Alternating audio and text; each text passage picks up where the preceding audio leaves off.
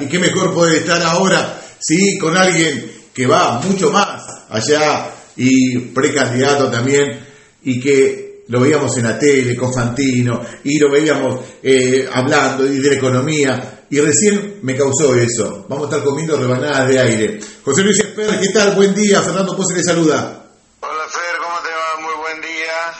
Bueno, la verdad que ya el lunes comienza la campaña y una campaña que va a ser bastante, no sé si llevadera, pero bastante complicada, ¿no?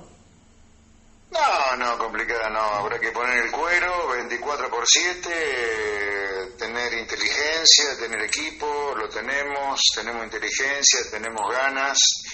Tenemos ganas de llevar una esperanza en Mar Chiquita con Eduardo Islas, en Mar del Plata con Gustavo José, que encabeza la lista de la UCD, Hernán Alcolea, que encabeza la lista de Republicanos Unidos, Susana Mesadri, que encabeza la línea de EPA. Ahí en Mar del Plata tenemos estas tres listas que te nombraba. Exacto. Nosotros estamos eh, muy contentos con, con todo lo que estamos haciendo en toda la provincia. La verdad que hemos logrado tener listas en el 97% del padrón de la provincia de Buenos Aires, hemos logrado juntar a los tres partidos liberales nacionales grandes, grandes históricos como el PD, el PAN y la UCD, agrupaciones como Republicanos Unidos, como el Movimiento Libertario Republicano y un montón de asociaciones vecinales que nos llevan la lista a nosotros.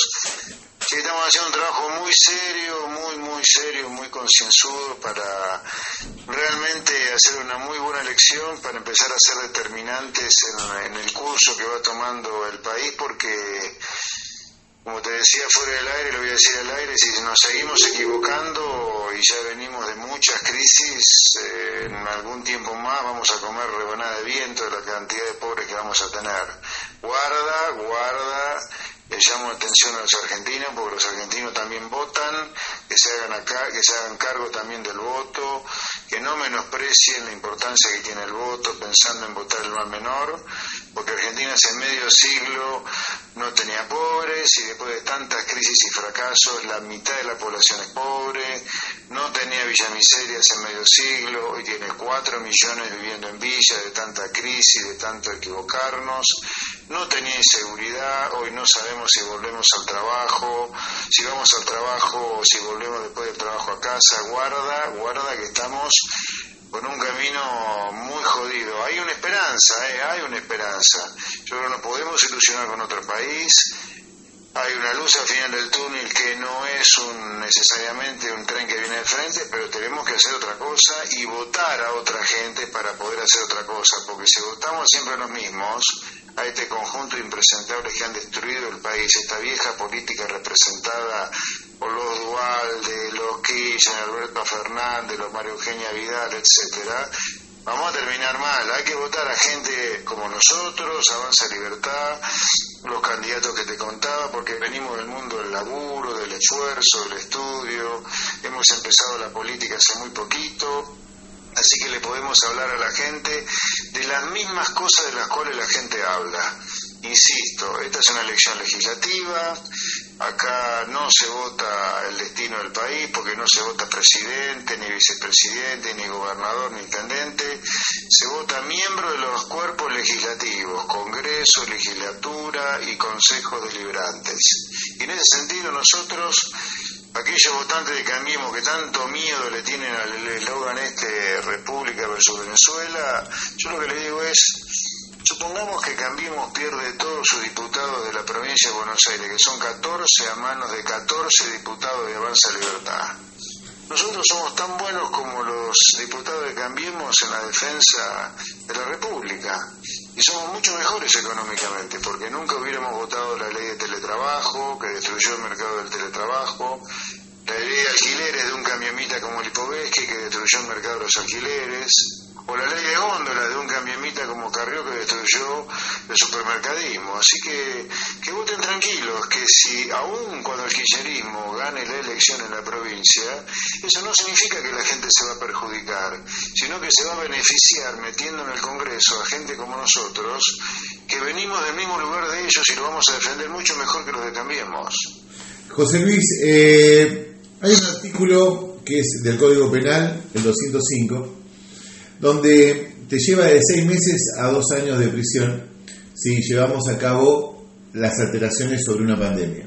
Hoy hay 25.000 personas que estuvieron anoche durmiendo eh, justo enfrente del, Ministerio de Educación, enfrente del Desarrollo Social. Ayer hubo un banderazo por San Lorenzo, banderazo por River, Vicentín, contra los eh, contra vacunas, contra la Argentina, eh, el, eh, obviamente, bueno, ni hablar cuando falleció Maradona, digo, cuando festejamos la Copa América, cuando Goyán se fue de, mi Ministerio de Salud y estaban todos con los bombos, digo, a ver, a mí no me interesa si entró o no alguien a la, a la Quinta me interesa que todos seamos iguales en algún aspecto, porque no puede ser que vayan y estemos así como estamos. Está todo destruido. Y esto parecería que no nos damos cuenta, porque ahora vamos a votar. A ver, al que es lindo, al que es blanco, al que es rubio, al que dice las cosas lindas, pero después, arriba, lo que salpican, es a nosotros. Entonces digo, propuesta, quiero escuchar, quiero saber, porque no puede ser que estemos así. Ningún político se mete entre medio de la gente anoche a hablar, ni Massa, ni Cristina, ni Macri, ni Alberto, ni María Eugenia, nadie que diga, y quiero escuchar a ver por qué están acá, y porque no tengo conectividad, porque quiero una notebook, porque quiero más planes, porque quiero, eh, no sé, polenta.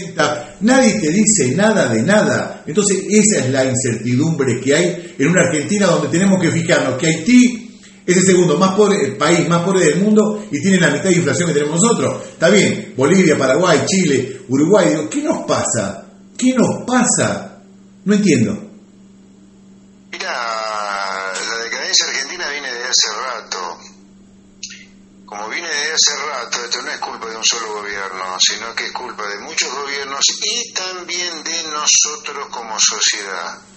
Cuando vos ves un verdadero genocidio económico autoinfligido, socioeconómico autoinfligido como el de Argentina, porque esto ha sido autoinfligido, no es que acá explotó una bomba atómica todos los días, que viene de afuera. Eh, este genocidio económico, socioeconómico autoinfligido es toda la sociedad responsable, porque acá ha habido políticos que no son marcianos, sino que han salido de la sociedad y que nos han destruido.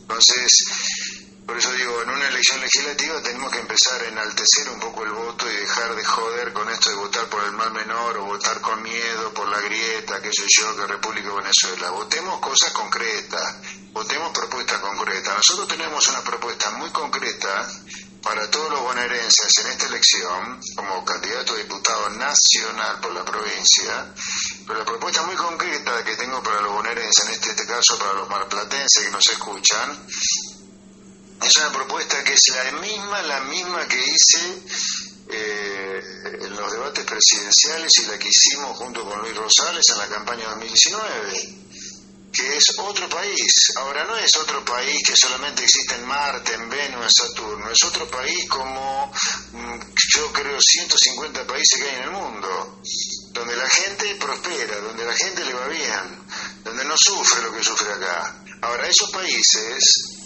en lugar de normalizar la anormalidad como hemos normalizado nosotros, hacen cosas normales. Ahora no sé por qué cuerno nosotros no podemos hacer esas cosas normales en los países donde la gente vive bien, ni se discuten. ¿Sabéis que hay tres cosas que en los países donde la gente vive bien no se discuten y nosotros no solo las discutimos, sino que las ideologizamos, teorizamos, seguimos poniendo en duda? Tres cosas. Uno, que el mundo no es un prestamista, sino que es una oportunidad para venderle cosas, es una oportunidad para comerciar. Nosotros vivimos mangueándole guita al mundo, totalmente al revés de lo que hacen los países donde va bien a la gente, que es usarlo como una oportunidad de comercio. La segunda cosa que hacen los países donde la gente vive bien es que la gente de laburo, el comerciante, el industrial, el autónomo, el mundo tributista, el empleado, una cantidad de impuestos razonables en lugar de ser esclavos impositivos como acá, porque hay un tamaño del Estado razonable. No hay un tamaño de impuestos razonables sin un Estado razonable. La Argentina tiene un Estado elefantiásico que tiene que achicar sí o sí para dejar de que la gente sea esclava impositiva. La tercera cosa, que tampoco se discute en los países donde la gente prospera, es que las leyes laborales no solo favorecen al trabajador y a sus derechos y la justicia social, sino también al empresario. Sino que el, el empresario tenga ganas de contratar gente. Acá, me consta, no hay un solo empresario que tenga ganas de contratar gente hoy, porque tiene miedo de quebrar la empresa si llega a tener un problema con un empleado. Eso tiene que tener leyes amigables con la creación de empleo, que eso implica tener leyes amigables que defiendan al trabajador, pero tampoco, pero que no produzcan que el empresario tenga miedo de contratar gente. Bueno, estas tres cosas que nosotros acá las damos vuelta, las retorcemos, las discutimos hace casi un siglo. Son las cosas que no se discuten en los países donde la gente le va bien. Esto no es ideológico, es puro sentido común. Es venderle algo al mundo, que la gente no sea una esclava impositiva, sino que disfrute de lo poco o mucho que gana y que tenga sindicalistas que defiendan la fuente de trabajo, lo cual significa defender al trabajador y al empresario. No, acá tenemos sindigarca, digo yo. Si hacemos eso, si hacemos eso que nosotros proponemos, a la Argentina le va a ir bárbaro, porque ya está probado en el mundo que eso funciona. ¿Entendés? Claro, seguro, seguro que sí. Bueno, mucha expectativa a partir ya del lunes que comienza esta campaña, que ya comenzó antes, ¿no? Por supuesto, pero ya una campaña que lo van a ver a, a nivel país, en lo que es provincia, en los 135 municipios. Eh, hace un ratito estábamos hablando con Eduardo Isla, sí, precandidato a concejal por, eh, por ustedes, por el partido de Machiquita. Es decir, yo creo que eh, la idea es, es eso, quieren, queremos estar un poco mejor, eso es lo importante, estar un poco Ay, mejor, un poco. Yo interpelo también a nuestros oyentes, que seguramente son todos votantes, para que nos vaya mejor tenemos que hacer cosas diferentes. Y esas cosas diferentes solo las proponemos nosotros. La grieta sigue jugando con la grieta, Randazo es un muleto de Cristina que de ahora descubrió las dotes del liberalismo. Eh, que la gente se anime, y más en una legislativa, a votar otra cosa, a votar a gente que viene del mismo mundo de ellos. Si no, olvídense que Argentina tiene solución. Repito, hay solución, pero hay que hacer otra cosa. Y eso solamente te lo propone un grupo de gente como es Avanza Libertad en la provincia de Buenos Aires. José Luis, ya muchísimas gracias, tenemos en Un placer, contacto. muy buen día. Abrazo.